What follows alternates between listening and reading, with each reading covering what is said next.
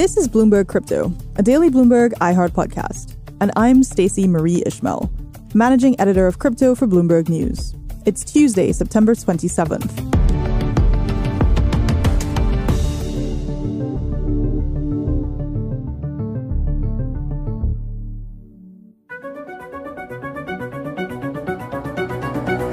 I'm Anna Irrera, a senior crypto editor for Bloomberg News, in today for Stacey Marie Ishmael. You may have heard of cryptocurrency exchange FTX, and you may have heard of its CEO and founder, Sam Bankman Fried. But have you heard of Alameda Research? No, it's not a Silicon Valley robotics lab. It's one of the largest and most influential cryptocurrency trading firms in the world. Alameda was founded by Sam Bankman Fried, or SBF, as he's known. The trading firm operates out of the Bahamas, along with the rest of the SBF empire. With a modest team of only 30 employees, Alameda pocketed over $1 billion in profit in the last year. The firm and its employees have, for the most part, preferred not to draw too much attention. In recent months, though, it's gotten harder for Alameda to fly under the radar, as the collapse of crypto has revealed a tangle of connections between Alameda, FTX, and the broader virtual currency markets.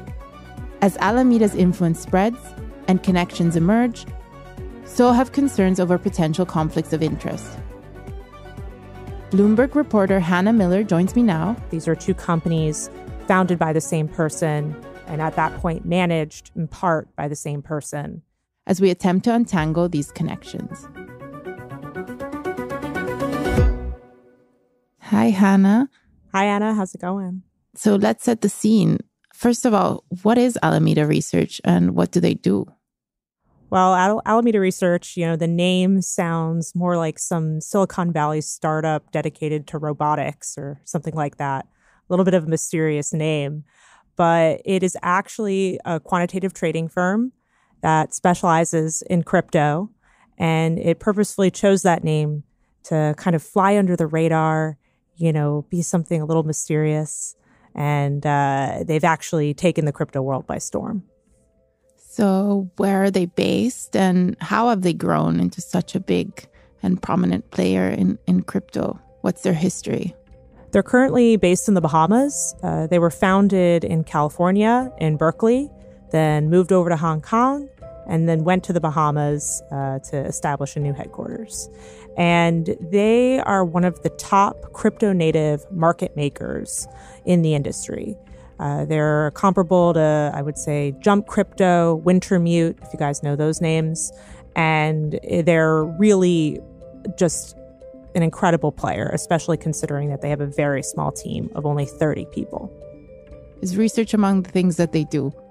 Research is among the things that they do, but a lot of that research is kept internally. It's not published in reports or things like that. But basically, they do conduct research on the crypto market in order to develop algorithms that help them trade more effectively. So I guess it's worth telling our listeners, you know, who might not be familiar, that that they're they're not like a fund; they trade their own money, like they're a prop trading firm, right? Exactly. Uh, and they do some other things too, like venture investing, though that has recently changed. Um, and they are also known for being founded by Sam Bankman Fried, one of the biggest names in digital assets. Five years, Sam Bankman went, Fried went from buying his first Bitcoin to becoming a multi billionaire. The FTX founder is now worth an estimated $11 billion. It is just fascinating to see, uh, you know, just how ambitious and seemingly successful uh, SBF has seemed to be. They call him the JP Morgan of crypto right? the Michael Jordan of crypto, if you will. uh, Sam Bankman-Fried really played a key role. So, what kind of relationship do Alameda and FTX have?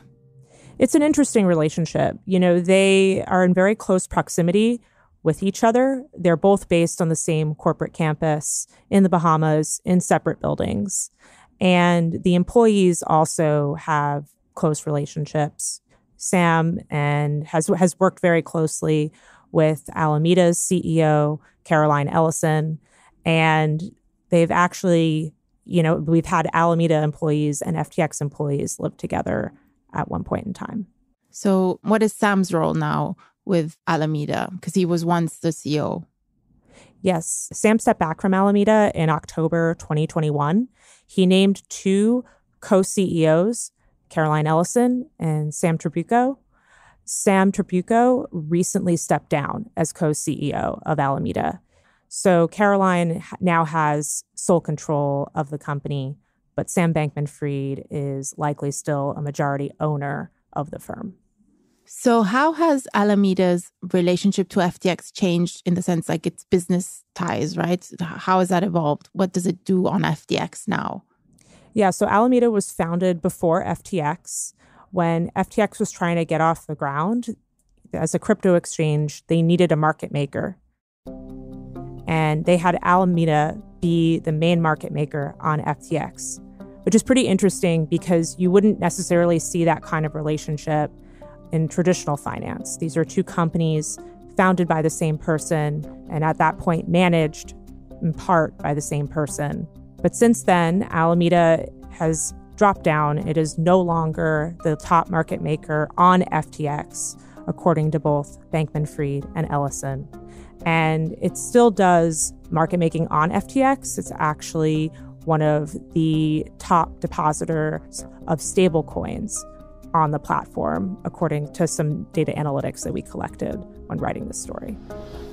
So, why have there been concerns about potential conflicts of interest? And obviously, you know, we want to be clear that we're saying potential and concerns, and there's no evidence that there is, is any direct conflict that has arisen or any any wrongdoing. But you know, why have people? Why are people in the market discussing this, and what have they told you? I guess.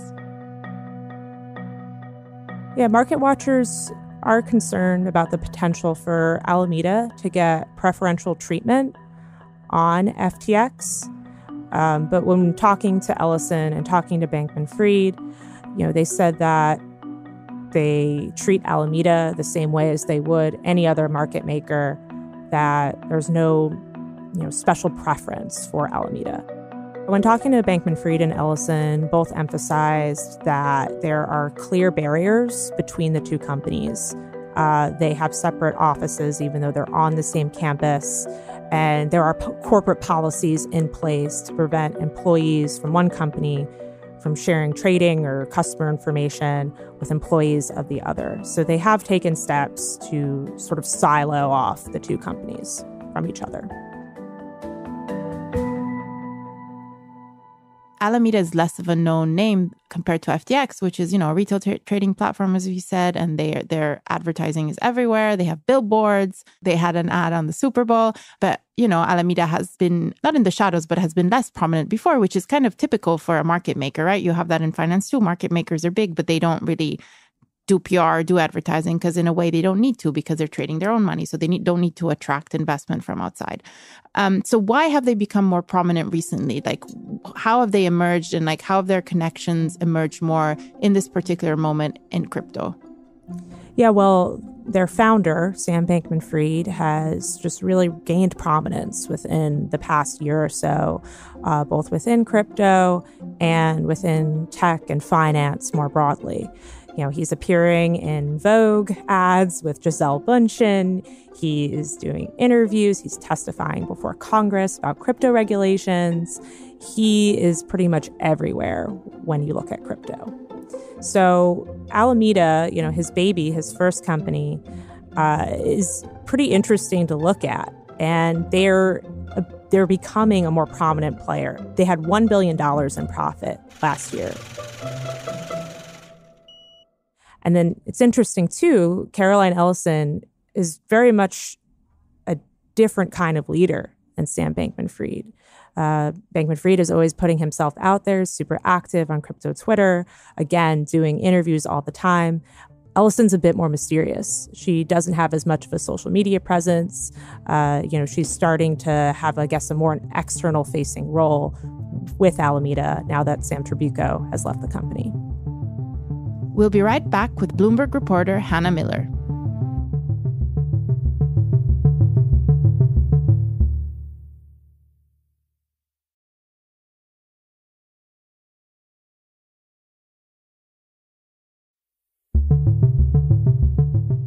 Pain in the world of crypto. Voyager Digital files for Chapter 11 bankruptcy protection just days after the broker suspended withdrawals on the platform. This is a lender and also sort of a brokerage firm. What does it mean that they're filing for bankruptcy protection?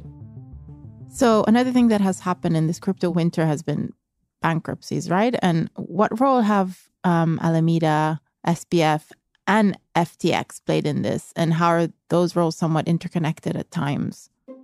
Well, Bankman Fried has been referred to as a bailout king, J- crypto's JP Morgan. He's really stepped in and been the architect of various bailouts that have helped struggling platforms uh, affected by crypto winter. We spoke to him about the Voyager deal, um, where they put in an emergency credit line to this struggling crypto lending platform. It ended up not being enough to help Voyager.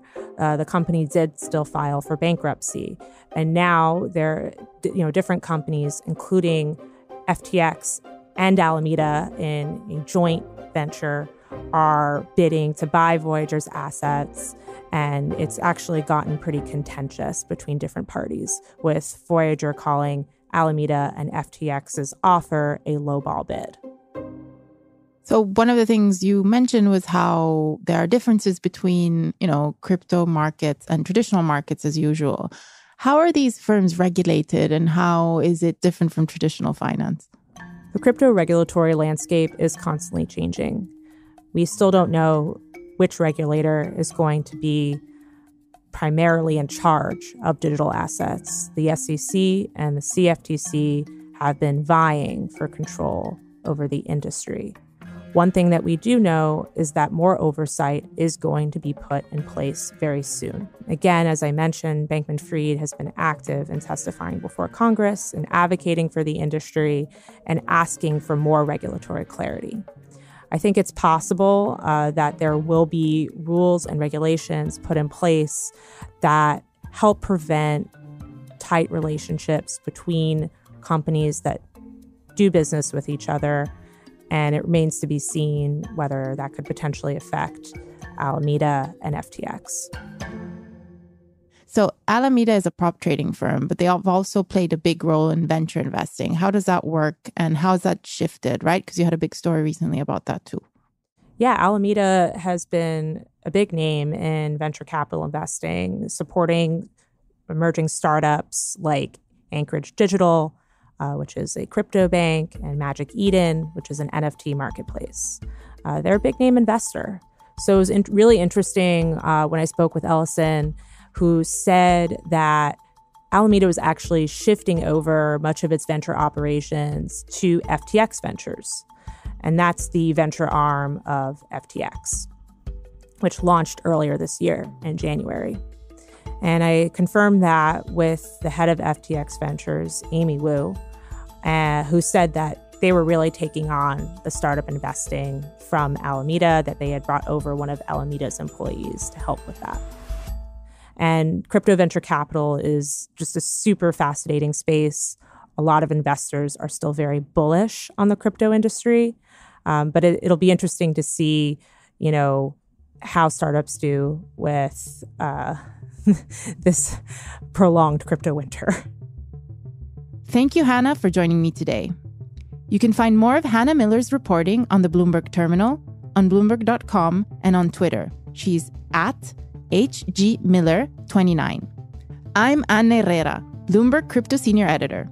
In today for Stacey Marie Ishmael.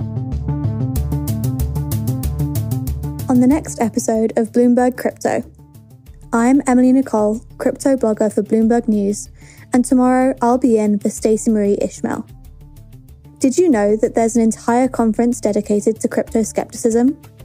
Stephen Diehl is a software engineer by trade, a leading crypto skeptic and author, and now co founder of the recently established Center for Emerging Technology Policy. He'll join me to break down crypto's promises of a brighter tomorrow and where he thinks it might actually be closer to myth.